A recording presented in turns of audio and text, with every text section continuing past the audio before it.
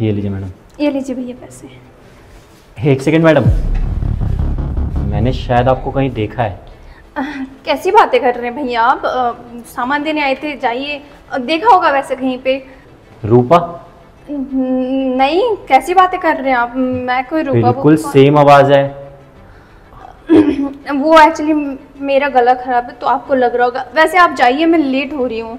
मैं चला जाऊँगा पर मुझे पक्का पता है कि आप मेरी बहन हो। आप एक बार अपना फेस दिखा दो। ऐसे कैसे मैं आपको फेस दिखा दूँ अपना?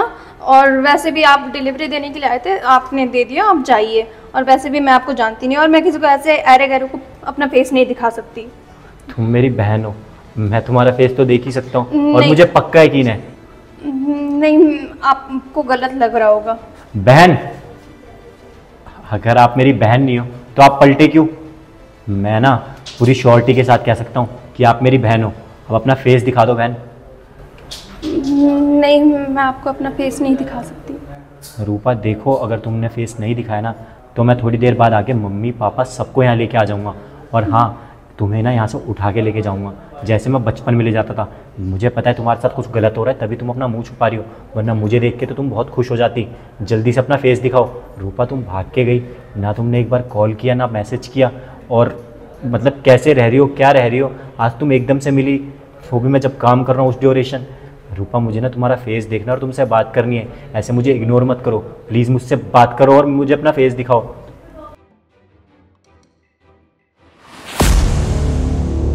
रूपा, ये हालत किसने की तेरी? इसलिए तू अपने घर से भागी थी।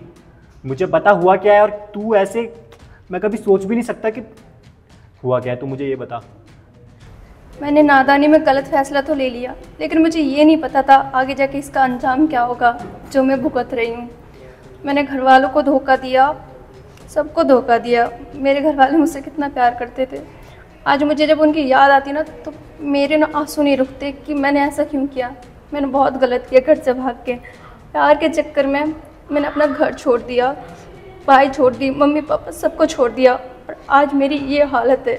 मुझे लगता था ना, ये मुझसे बहुत प्यार करता है। लेकिन इसका प्यार बस कुछ ही दिनों का था और उसके बाद जो है, डेली डेली मारपीट मेरी छोटी सी गलती पे भी ये मुझ पे इतना हाथ उठाता है कि मैं सोच भी नहीं सकती। रूपा, तुझे पता है, जिस दिन तू भागी थी ना, पापा को लोगों ने ताने मार मार के मार दिया था।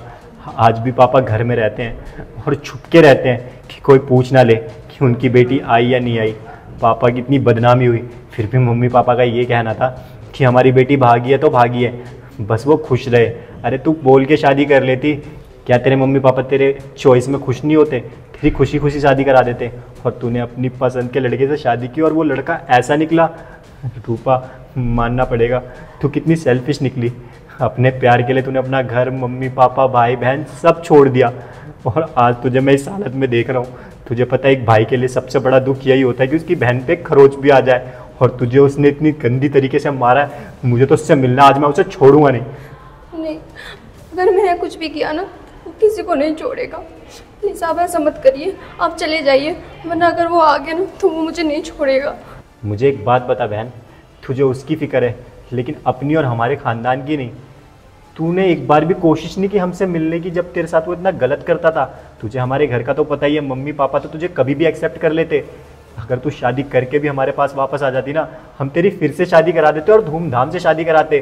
तुझे भागने की ज़रूरत नहीं पड़ती। एक बार अगर तूने बता दिया होता इस लड़के के बारे में भी तो।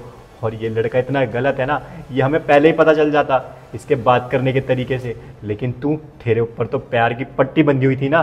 तूने अपने पसंद के लड़के से शादी तो कर ली, लेकिन आज तेरी हालत तेरी हालत देखने लायक नहीं है। तूने एक बार भी कोशिश नहीं की हमारे घर आने की या हमें बताने की, ये सब तेरे पसंद का लड़का था ना वो। आज तुझ पे हाथ उठा रहा है तुझे खुश नहीं रख पा रहा है। ये डेढ़ सौ रुपये का बर्गर खा के तू अपना पूरा दिन गुजारेगी। पता ही से कितने गलत तरीके से बनाया जाता है और ये खा के तू अपना पूरा दिन गुजारेगी। किस मुँह से घर आती मैं? आखिर मैंने घर वालों का नाम इतना बदनाम कर दिया। अगर मैं घर भी आती तो मैं जी नहीं पाती कि मैंने घर वालों को इतना परेशान किया। उसके बाद आप मुझे ये कह रहे हो कि मैं घर आ जाती। और जो भी हो रहा है ना मेरे साथ वो मैंने ही किया है। मैंने अगर घर वालों को बताया होता तो शायद आज ये दिन नहीं देखना पड़ता। ये घर वालों की चॉइस से शादी की होती तो ऐसा नहीं होता। तू शायद भूल रही है हमारे मम्मी पापा क्या कहते हैं? जो हमारे बच्चे हैं ना वो हज़ार गलती कर दें फिर भी हमारे प्यारे बच्चे रहेंगे। तुझे पता है ना मैं भी बचपन से लेके अब तक कितनी गलतियाँ करते हुए आ रहा हूँ और पापा मम्मी उसे भी तो माफ़ करते हैं ना और जिससे तूने शादी की वो तेरा पति नहीं वो तेरी गलती है। और तू इस गलती को सुधार सकती थी और बहुत पहले ही सुधार सकती थी। इतनी चोटें लगने से तो पहले ही। तुझे रूपा ध्यान देना चाहिए था। तुझे देख के शादी करनी चाहिए थी। भरोसा ठीक है, लेकिन अंधा भरोसा, वो भी गलत इंसान पे। ये बहुत गलत चीज़ है रूपा। तुझे पता है आज के टाइम में ना किसी भी इंसान पे इतनी जल्दी भरोसा नहीं किया जाता और तूने तो सीधा शादी कर ली। माना कि तू उससे प्यार करती थी, लेकिन उसका बैकग्राउंड उसका अता पता ये सब देख के तुझे शादी करना चाहिए था। तुझे पता है हमारी फैमिली ने तुझे कितना ढूंढा। अरे, तीन साल से तुझे ढूंढ रहे थे और अब जाके तू मुझे मिली है। वो भी ऐसे डिलीवरी करते हुए। और आज भी तू तैयार नहीं थी मुझसे बात करने के लिए। अगर मैं चला जाता ना तो मेरे को पता ही नहीं चलता कि मेरी बहन किस हालत में और क्या कर रही है। ठीक है। मैं समझ गई हूँ बट आप चले जाओ। मैं देख लूँगी अब जो भी, मैं देख लूँगी अब जो भी हो। मैंने किया है ना तो भुगतूँगी मैं ही। देख बहन, तू अभी भी मेरी बातों को नहीं समझी। जो मैं कहना चाहता हूँ, तुझे ना उसका डट के जवाब देना पड़ेगा।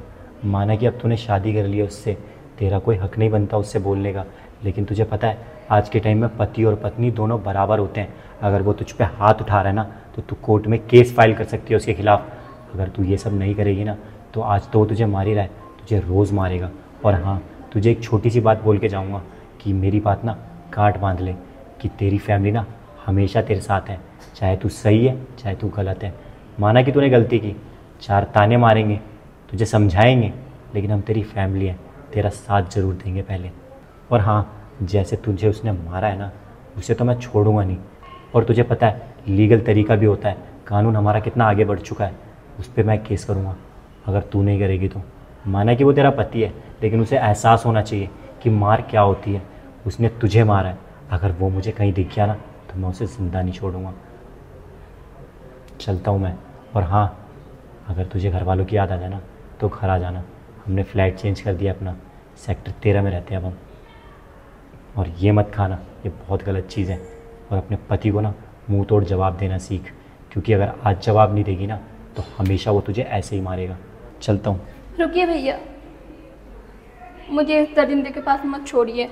मैं अब तक कुछ बोल नहीं रही थी क्योंकि मुझे समझ नहीं आ रहा था। मेरे आगे पीछे कोई भी नहीं था।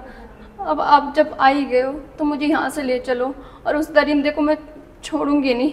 आप लोग मेरे साथ हैं तो मुझे डरने की ज़रूरत नहीं है। चलो बहन और छोड़ दो उसको उसके हाल पे। चलो मेरे साथ।